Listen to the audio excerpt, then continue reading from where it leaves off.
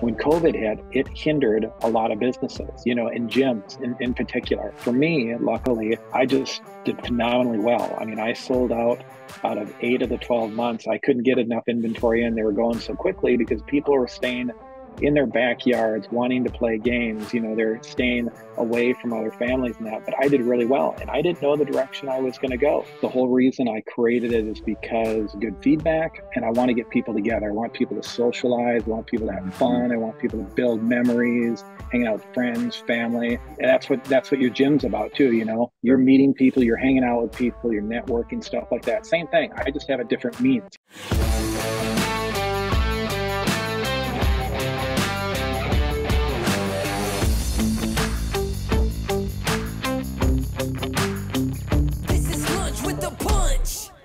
All right, guys, this is Dustin Bogle coming at you with another episode of the Lunch with the Punch uh, podcast. And I'm super excited because uh, this is a gentleman that I was introduced to through a mutual friend, Larry Broughton. And uh, we had Larry on the podcast before. So if you guys have been listening to the podcast, you definitely know who he is and his background. But I'm a big fan of not just echoing in the fitness industry and just having people from our world gym owners. Sometimes you get great lessons from looking in people at other industries. And uh, I'll, I'll, kind of share one of mine uh, right after I introduce my guest. He's a gentleman that has a really cool, unique set of products, not just one, multiple. So at that point, you call yourself a serial entrepreneur. Uh, and that is none other than Matt Butler with Rollors, a yard game, and then a new product that he's rolling out called Tally Tumbler, which is really cool looking. And we'll dive into that. So, Matt, thank you for joining me on the podcast, sir. Hey, Dustin, I appreciate you having me on.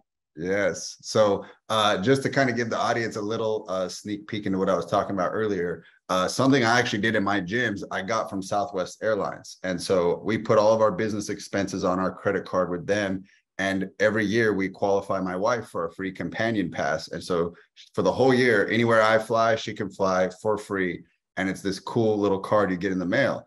And I said, Oh my God, that's genius. I want to make a companion pass for my members at my gym. And when they've been with us a year, we will give them that. And now they can bring an unlimited amount of friends and family, which gives us referrals. And so that was not something I got from another gym. And so that story I'm sharing with you guys is to say, have your eyes open everywhere you go. When you go to a restaurant, when you go to a hotel, like I, you know, that's an airline, you can pull ideas from anything. So I'm saying that to say, I bet there's a lesson we could pull from Matt that we can apply to our businesses. And maybe even we have something we could throw at him if you have that mindset. And so that's kind of what I wanted to start us off with.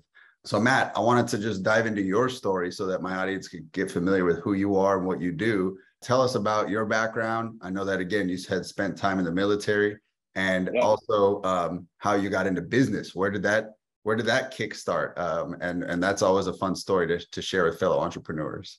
No, that sounds good. And I like the story that you brought up because I feel like anything in entrepreneurship, anything with marketing, you got to give it a try. If it works, you keep at it. If it doesn't, you stop, you pivot, and you just take a different direction. So that's basically what I've been doing in my businesses. Big thing is, you know, how can I save money, and bootstrapping, things along that nature. But uh, and also, you know, what are proven um, things that other people are doing. So you know, I've listened to a lot of your podcast uh, yesterday and today.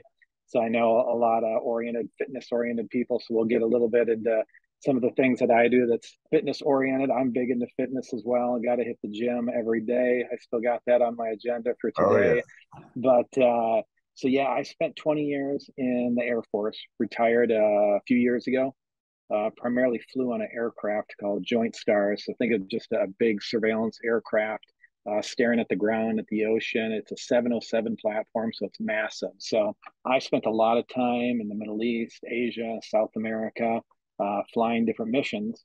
Along that time, I was uh, just missing being home with uh, friends and family, stuff like that. And I grew up in Minnesota. So you imagine that that long winter, and you get that cabin fever. So when you know uh, March, April happens, you just want to get outside. So I was thinking back when on one of my deployments of uh, yard games, playing with friends, having a beer, barbecue, and things like that.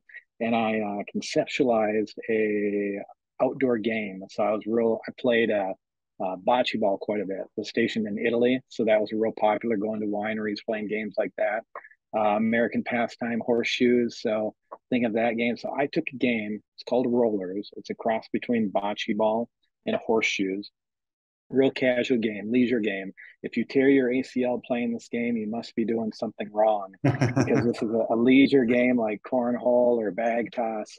So since I'm getting older, some of these uh, active sports I'm just not into. Uh, you know, basketball as much anymore. You know, played in high school, little in college. So um, now I'm more into the leisure type stuff. But uh, that is a, uh, a game that I started about 10 years ago. I prototyped in my garage. I went from uh, selling church and craft fairs to starting off small, right? Uh, developing the right product. What Larry Broughton has told me is uh, MVP, the minimal viable product. So I brought that to market. Today we sell it in about 800 different retailers. Think like Dick's Sporting Goods, um, Amazon, Wayfair, Target, a bunch of different sporting goods. Big Five we just sent some to. So yeah, real familiar with the sporting goods industry. Um, we've created some other outdoor games, but Rollors has by far surpassed um, any of the other outdoor games that that we've sold. So think of Rollors as, uh, like I said, a cross between bocce ball and horseshoes. You have these oversized hockey puck discs. You roll them in an underhand bowling motion towards a goal, and it's just uh, there's a point structure. So whichever side the discs fall on are the points that you get. So it's really easy to learn, but really difficult to, you know, master is, is really uh-huh. part of it though. So you're always playing. And you know, there's a lot of other outdoor games in the market. Um, this is just another one. But the whole reason I created it is because good feedback and I want to get people together. I want people to socialize, I want people to have mm-hmm. fun, I want people to build memories, hang out with friends, family you know that's what that's what your gym's about too you know you're meeting people you're hanging out with people you're networking stuff like that. Same thing. I just have a different different means. You know i have a you know people going to barbecue and hang out with each other. That's the same thing. So that in a nutshell because i know we don't have a lot of time is how i created uh, the game Rollors which is which is out there quite a bit. That's awesome. Um, uh, i was just gonna yeah. say if you're in a competitive family uh, that Thanksgiving football game can only go on for so many years till people start getting hurt. Like you said, you start getting older. So we need some some other games that people still got that competitive spirit. Like my son's crazy competitive.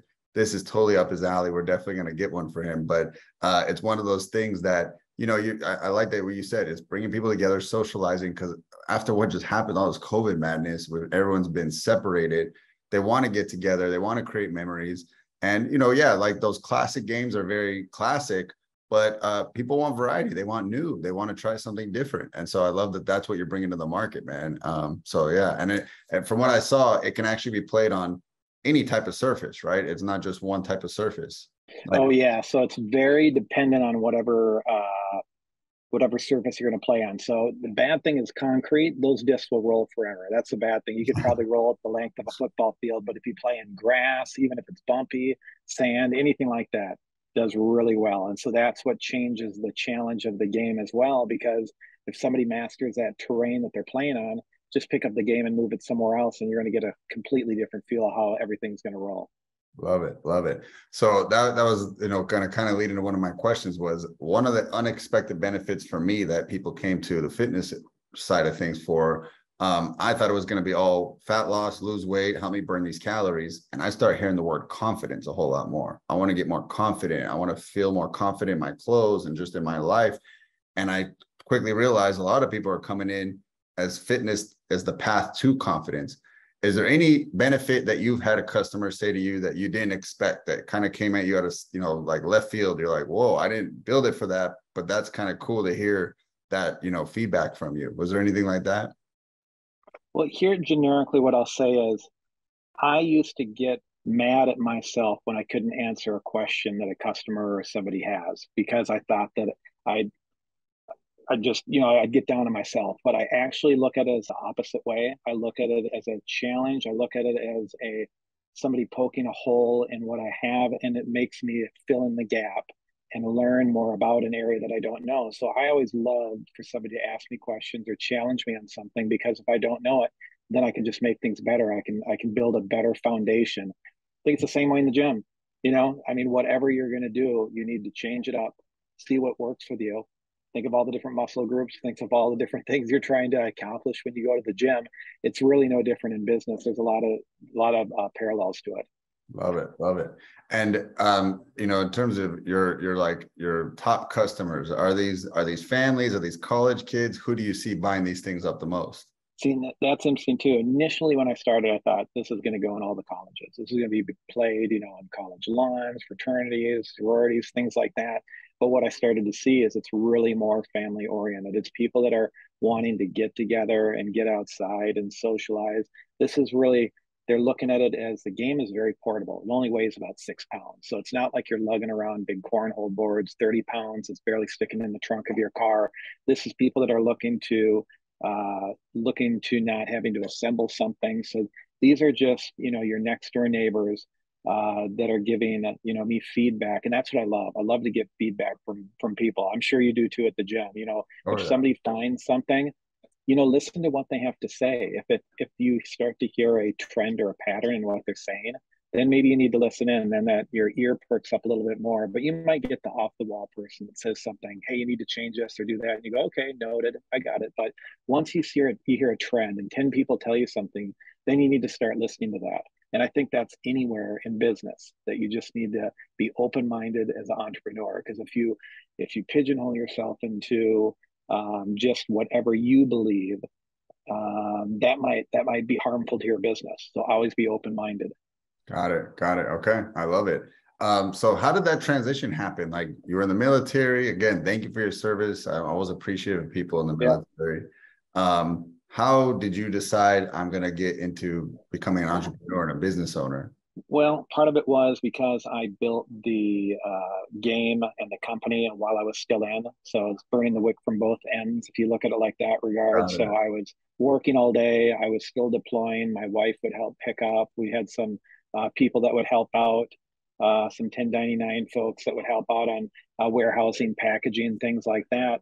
And then uh, it just felt like it was uh, the right time to transition out of the military. I was just, we had all the moves. I moved, I think, let's see, 10 different times over 20 years. And so I just knew wow. I was up to move again. And I thought, you know what?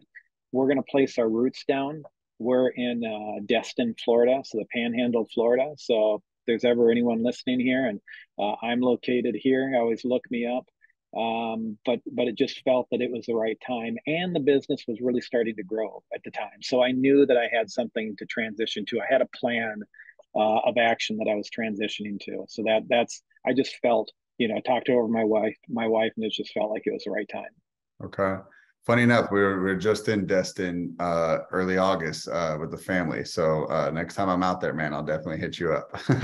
yeah, uh, yeah, uh, perfect time too. I bet it was cooking. August was oh, a little rainy, a little cooking here. Yeah. we were, we were loving it though. I love the heat. You can't can't you can't scare me with heat. Oh, Minnesota. I don't know if I visit you there, but yeah, like uh, so. yeah. So I, I, wanted to ask you, like, what's the plans for expansion? You already hit some very impressive, you know, uh, marketplaces and, and stores to carry your product. Do you have your eyes set on another big store? Is it another big move? Like, what's the next big move to grow Rollors and get it in the hands of more people? So I set myself with goals every year. I think out what do I plan to do for the next year. Majority of time, I'm always looking to how can I shrink my margins? You know, so through cost effective means, either lower cost of goods, reducing my amount on advertising, things like that. Uh, I'm also looking at additional distribution. So one of the ones I'm looking at is uh, Bass Pro Shop is one. I've got some leads. I just got off a uh, earlier meeting with another large retailer that has about 150 stores. So that's kind of my goal. And then I don't set a number, which I probably could and should, but I just want to expand as much as I can out there and, and provide uh, the more that I can get distributed, the more volume that I can get out there, it helps me tell the story of how well the product's doing. So that's really my end goal is to do that every year. Love it. Love it. Okay. That's very, very smart. So we talked about a lot of exciting things that are going well. You're succeeding, you're getting into more, you know, uh, stores, but let's, as, as we know, there's a lot of failures that go hand in hand with being an entrepreneur. So is there any key failures, which we want to look at more as a learning lesson, uh, that have happened in the last year that could apply to another business owner. Doesn't have to be just gym owners, just anybody in business that you're like, made a mistake, learn from it. Here's what I learned. I hope you don't make the same mistake. Um, any wisdom you want to pass down? Yeah, and that's the thing is sometimes I might um, have a phenomenal week or phenomenal month of sales and I think that I am just the smartest guy in the world and this is very easy. And you know what? As soon as that happens, it's usually a failure is lurking around the corner. You know, we try and prevent as many failures as we can, right? We want to be uh, reduce our risks, but we can never reduce them to 100%. There's always risks with whatever choice we make. You know, a lot of it comes to any entrepreneurs is uh, financially, you know, and I can give you one in particular that's still uh, a little painful, stings a little bit. I tried, as we just talked about, what are your, what are my goals every year, and so I tried to increase my distribution outside of the United States to Australia. Well, the sales there just weren't as good, and then I didn't do my research, so I blame only myself in this regard. I got a little lazy, I think, and I didn't look at the VAT taxes that go into there. Uh, since it's a wood product, it needed to be um, needed to be uh, inspected and sprayed down because it's wood. So um, because of all of that, um, the sales were not that hot. I actually lost some money on that and decided, well, let me pull back and maybe this isn't the right market. Maybe it isn't the right time. I don't know if I've fully identified it because I still get good sales to that country. But that was one of those that was just really painful and it felt like. Uh, instead of a small leak, it was a drain just just coming out of water. It just just was draining me. So with any business owner, you have to evaluate, look at the numbers. I, I try to the numbers don't lie if you're looking at them uh, analytically. And I was just looking at it. I thought, you know what, it's time to cut this off. And I, and I stopped and just regrouped. And I think anyone has to do that if you're opening up uh, any business, a gym, anything. Uh, if you're wanting to expand, like talking about distribution, you want to open up a second gym, a third gym, anything else, you know, is it the right time? Do you have enough money? you know what's your runway in regards to your operating budget that you have? Do you have enough to sustain yourself for six months or a year? You really have to map that out. That goes back into business 101 you have need to have a business plan. Look at the numbers. What do you expect from a profit loss?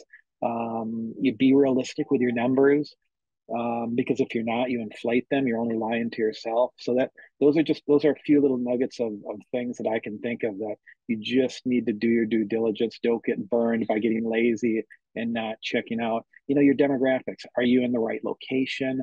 You know, do you have the right people? Do tests. Tests are are phenomenal ways to utilize. You know, if you have a gym and you're looking at a location, how many people do you think percent wise are going to transition to that one? Does that open up more room in a current gym? Same thing, I think, with any business. I mean, there's a lot of parallels in that. So hopefully, a couple yeah. of those little nuggets are helpful to listeners. No, no, that's that's wonderful and and funny. Similar, same mistake.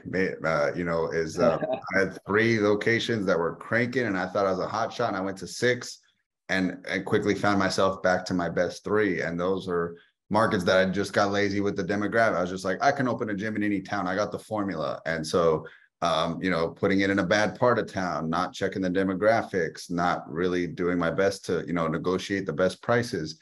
And so, yeah, I think that that's something that, you know, uh, once you get a hot streak, you can feel like you're unstoppable. And right. you gotta, you gotta check that ego. You gotta, you gotta like, I love that you're very number driven. I think that's another lesson that can be pulled from what you just said is that a lot of people go off of a feeling and emotion or a feeling uh, feelings and emotions in business and not numbers of being data driven and you almost got to be 99% data driven and the other part is is your gut and your you know your your emotions. Um, so it's good you know for people to look at that stuff and to inspect what they expect in every area of their business. And honestly like look at them more train your eyes to start to see the patterns. What what happens weekly you know week to week? What happens monthly um because some people they might not even look at them quarterly and so they're so disconnected from their their numbers they don't know what decisions are the right ones um so uh in, in terms of your other product tell us about how you know again so Rollors home run it's crushing you only have plans to grow more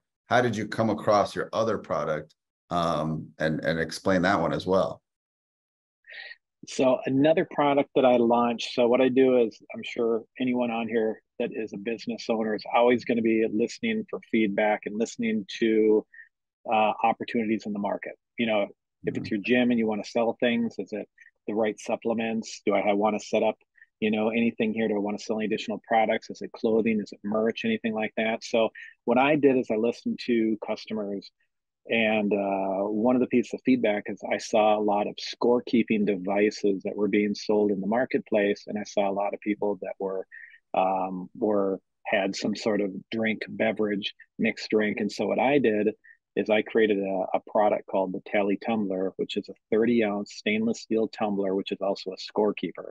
And there's three different versions of it. There's one for keeping track of your score for tennis, uh, yard games, so parlays into Rollors, and then golf. So I'm also what I'm doing is I'm expanding outside of my normal demographics of yard games, getting into golf, getting into tennis.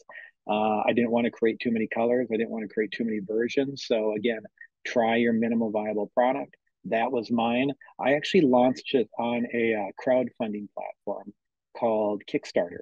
Not a lot of people know about that, but what people do is uh, you tell the story about what you're trying to get funding for, and people will pre-order the product prior to it being manufactured and made and then once it reaches a funding goal then people get the product later on. They usually get a discount like say 25% so i did that and i got a big chunk of money up front but i also got validation through people wanting to buy it so i knew that this was a good product. And so that's when i, I moved it forward.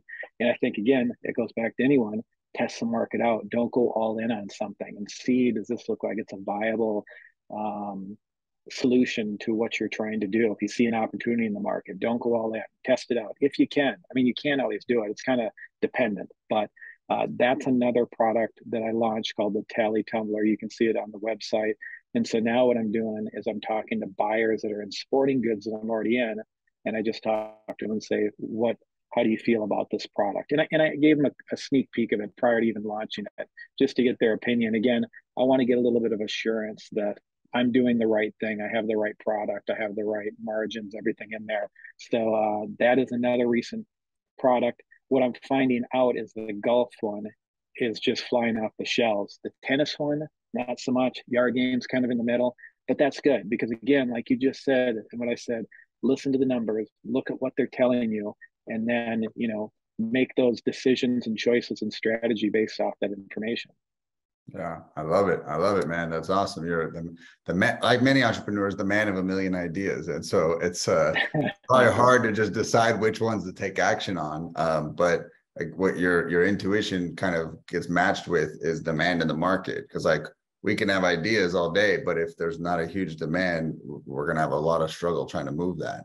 Um, and so I wanted to ask about your marketing strategy obviously getting into these you know dis- distribution front these storefronts is huge but what about uh, online advertising? Do you have paid ads? You know what, what are you doing there um, for anybody else that's trying to move product and and you know sell more whether it could be you know in their fitness facility it could be supplements could be something else that they're selling um, any any tips or words of wisdom when it comes to marketing yeah, so we use uh, Google Ads, we use Facebook, we use Instagram, you know, and you don't have to be on every social media platform. We found out that Twitter does not work the best.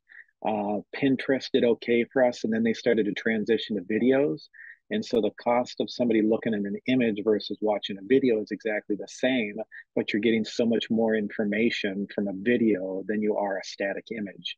You know, mm-hmm. if you're gonna if you're gonna choose between them, an image is better than nothing.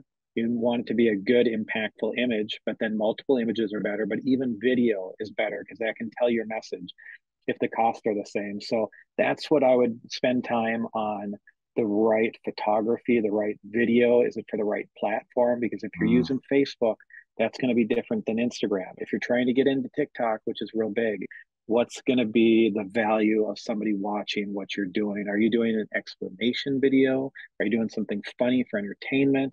So uh, my my point is you can't do all of them or i mean you can. I'm just saying the probability is to get to what works for you digitally you know and if you have a digital footprint how can you um, optimize your website by having the right headers um, the right locations uh, do you have a newsletter that's automated? So if somebody signs up for a discount or for something on there, are you getting uh, Are you getting uh, something reviews or information back from them? Is there a way to recycle that email and upsell them other products into the future or discounts? Or you know, if you're opening up a new store, you have a new product. Like it's it's it's been proven that it's more costly to acquire a new customer than it is to utilize current customers.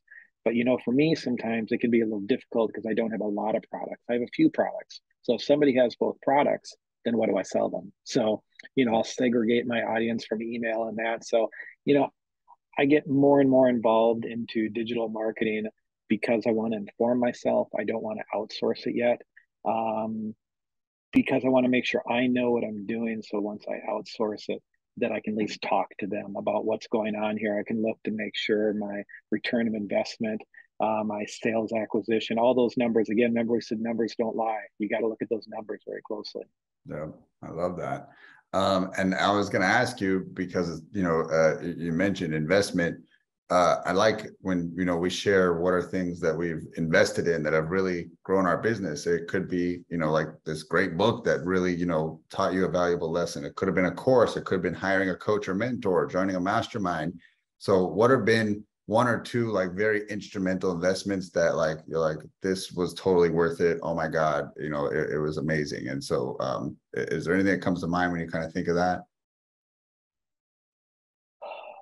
i would say being so there's an organization that's a nonprofit it's called score it's c-o-r-e dot org and what that is is a mentor mentee relationship so say for example somebody is opening a gym or any type of business, you can go to that organization and they will try and match you up to somebody that's within that business, uh, you know, profile. I have that information. Um. That is one, you know, free tool, a tool that's out there. But talking to other people in the industry is important, the networking perspective. So, for example, uh, 2019, prior to COVID, I was on a trade show mania. I think I went to about seven or eight trade shows, which was great. Not only talking about the product, selling the product, connecting up with retailers, but really networking. So even networking with other businesses that are out there, you know, you've you've really got to develop um, that relationship with other people. So is it going to be uh, clothing merch? Is it going to be supplements? You know, for me, is it manufacturing? Is it packaging? Is it marketing?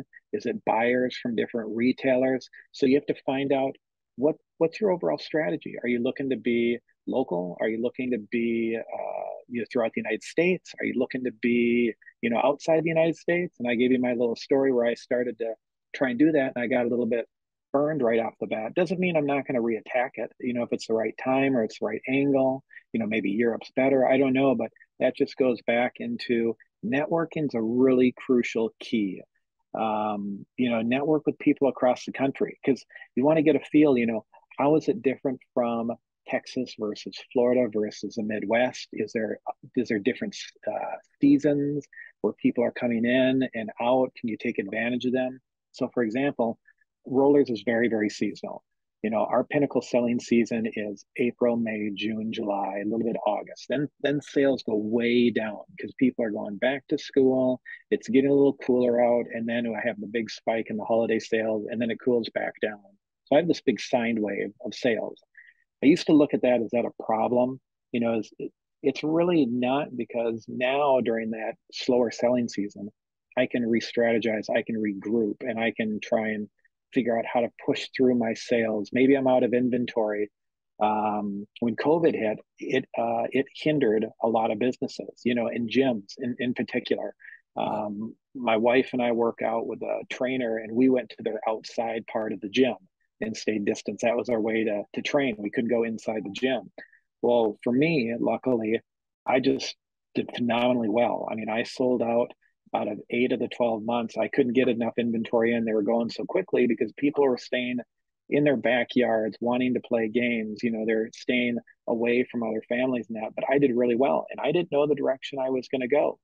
Uh, so you just really need to take advantage of that and you know even the gym owner by saying we'll let you use the outside area that was a nice pivot on their part just to be creative and so um, I, I, kind of I threw in a bunch of things there, you know, talking about no, no, just being good. able to network. Yeah, Yeah, no, it's good. And you know, as you said that, I was like, oh my God, man, you got to totally get into the Airbnb and STR space because people buy games for their guests and like leave them there. You know, like we've right. gone to many Airbnbs in Destin, we stared at one and they would have, you know, games for inside the house and they'd have yard games. And I was just like, man, what that's I don't know if that's an idea we're chasing, but it just popped in my mind that like that that's like you'll get bulk orders from you know hosts of of those types of properties. Um, but then I was like also thinking, man, in the colder season when it is slowing down, you know, an, an indoor game like a whether it is a board game or something like that, so you can cover you know both sides of the spectrum. But I, am just spitballing again. I'm like you. I, I, have a million ideas. So sometimes they're good, and sometimes disregard them, move on. You know but yeah, uh, that that's definitely a, a, good, you know, kind of like piece of feedback. Is we we have a lot of resources, and I think the best thing that uh, a business owner can really learn to get a handle on is their focus, because your feed will be filled up with tons of gurus promising you a million dollars, or this group, this book is the next book that will have the secret. And so what I read on you is you're very focused and you really concentrate on your on your main products and that you just look at how to optimize them and how to move them more and like how to get them in the hands of more people and on the you know more eyeballs looking at it that is a skill. That is not easy. And i and again i recognize it because i've recognized when i see a very distracted business owner and like they're doing a new thing every week and they have a great business if they could just give it the attention and love that it deserves you know? But we tend to right. think the grass is greener if i get in another industry if i try another product you know it's got to be better and then you get there and it's not and it's like the grass is greener where you water it. And so i think that's a skill all business owners really can you know always improve on. And uh, the reason you as you see here i got all these books. I, I, think one of the daily practices that helps me with it is to read. And i, I love audiobooks and i do audio but you can kind of be distracted while you can do it. You can ride the bike you can do your cardio and you're not giving it the attention to kind of like train your mind to come back to the page as it starts to wander in your daily to-do list. You're like, no, come back here, read this. It's a daily practice that helps. And so I could see that you're very, very focused on your business and like optimizing it. And so kudos to you for that, because that is not easy. And uh, I think that's probably the number one thing that I would say probably hurts a lot of business owners from getting further is like distraction in a world of it, you know, social media, email, pings and dings and zings you got to really be very very focused to get your your business to the next level. So i wanted to ask you what do you what do you consider your strengths? Because that's me as an observer kind of looking at you and seeing a, a strength. But what would you say is like these are my strengths. I'm awesome at this. This i definitely delegate. I get it off my plate. Um, i'm not strong in this area which we all have those right? Yeah. Oh definitely. Everyone's made differently right? You know and there's things you like to do and you don't like to do. So the biggest piece of advice I can give to any business owner is get to know all the aspects of your business. Find out what you like to do and what you don't like to do. So everything that I don't like to do, I start to outsource, but I want to understand it first. I don't want to outsource it, give it to somebody that may be talking, you know, something that I, am not familiar with. And I'll give you an example. Um, I don't like to do finances. I don't like to roll up the numbers. I don't like to do my taxes. I don't like any of those. But that's a very, very critical part of your business yeah. is to do that. But so I have to get to know them. I know how to do them. It's just I don't like to do them. But so what I do is I let somebody else do them and then I review them. So, but I like to go to trade shows. I like to interact with people. I like to try different marketing things. You know, I love ideas. If somebody throws me a couple ideas like you just did about Airbnb and connecting up with them from like a strategic level of getting more games in there, I love it. Give it a try, you know, because guess what? If it doesn't work, hopefully it didn't drain you too much, maybe just some of your sweat equity, just your time, and maybe yep. not too much financially, but but definitely give it a try. Um, you know, my characteristics is I'm persistent. Um, I have a lot of tenacity. I just will never give up. Um, I'm a marathon runner in, in regards that I'll just keep going and going. Uh, sprinting, you know, is good too, but um, that's that's one of my strengths. And so, same thing at the gym. You know, I just I know I've got to plug away time. I've got to go in there. I'm not going to change my body from you know from day one to day seven. I just need to be realistic with my goals.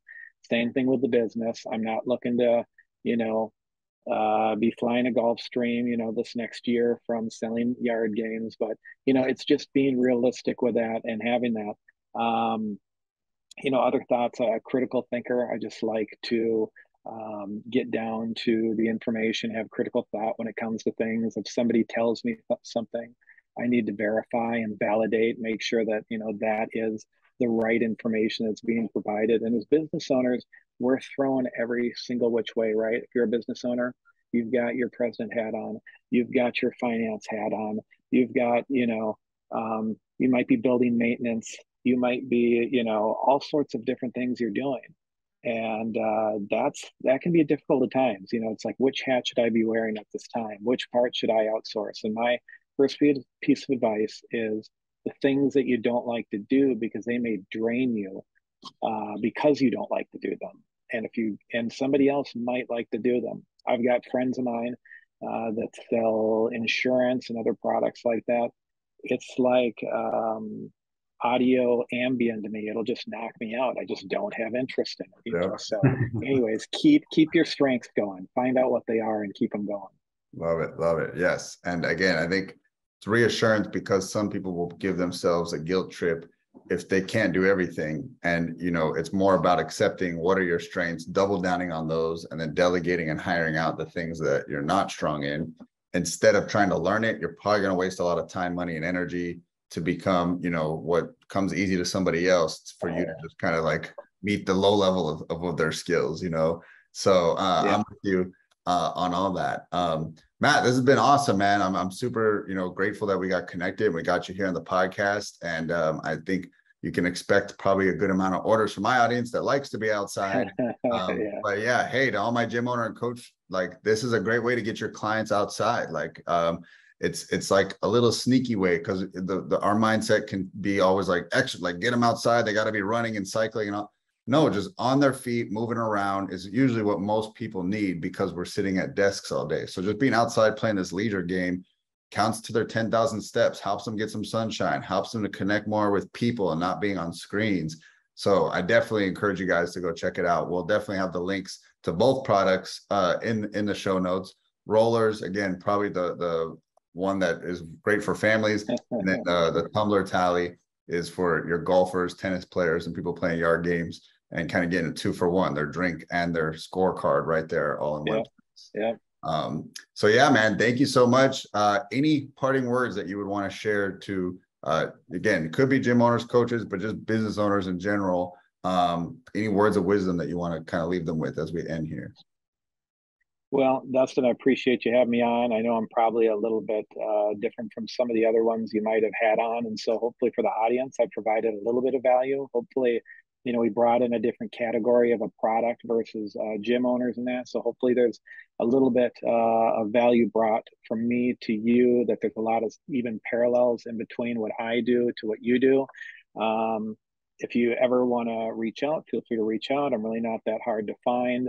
And uh, I know as being a business owner and entrepreneur that you're going through a lot. I know that there's ups and downs. You know, we're all here to support you in any way we can. I think that entrepreneurs are phenomenal in helping each other out because they know all the pitfalls that people can fall into and nobody wants anyone to fall into those. They want everyone to succeed. That's at least the mindset you should have. You want that positivity of other people succeeding and you want the best for them. So uh, that's my parting thoughts is you know help each other out. Um, and if i was of any value pass it on to other people. And uh, i just again appreciate you having me on all right. Well, thank you so much, man. Uh, kudos to you. And again, uh, nothing but cheers to future growth with uh, both products and any future products you create. So thank you again, Matt.